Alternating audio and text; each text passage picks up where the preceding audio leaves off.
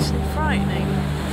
Just kind of questioning, can I cope? Can I do it? Well, we have to land in the dark. Can't really see where we're going. The boat just fell apart.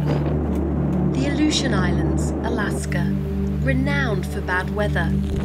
This rugged volcanic archipelago stretches like a broken bridge from Russia to Alaska along the Pacific Ring of Fire.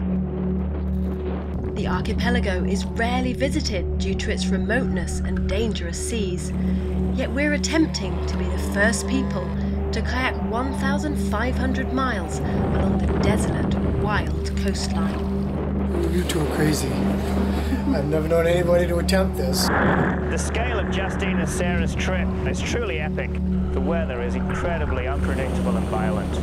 The low pressure systems that affect North American weather are born right there. They were paddling from one small island to another. There's nobody on the island that they're leaving. There's nobody on the island that they're arriving at. We're in one of the remotest, wildest, worst weather places in the world, and Sarah is way less experienced than me. Shit!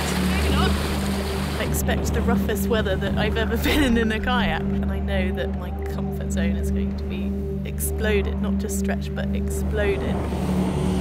We are now going to miss the island, absolutely, definitely. I was having a naked shower and the bear came.